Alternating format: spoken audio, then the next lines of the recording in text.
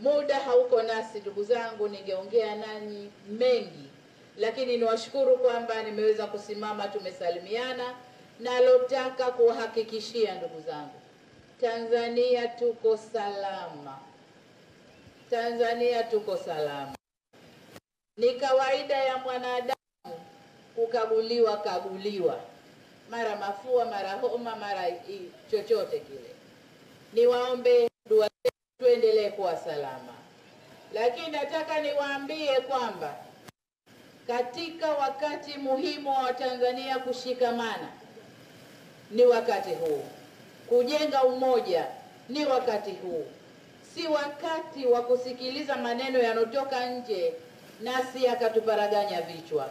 Na waomba wote tushikane kwa umoja, kwa mshikamano wetu kama Watanzania, tuendelee kuchapa kazi kama sisi tulivyokuja, tunachapa kazi, tunaangalia miradi. Watu wote shughulikeni na mambo yenu, jengeni taifa lenu, tujenge umoja na mshikamano wetu, ili Tanzania yetu liwe taifa imara, na hichi ndicho kinachotuchongea. Uimara wa taifa unaleta maneno mengi.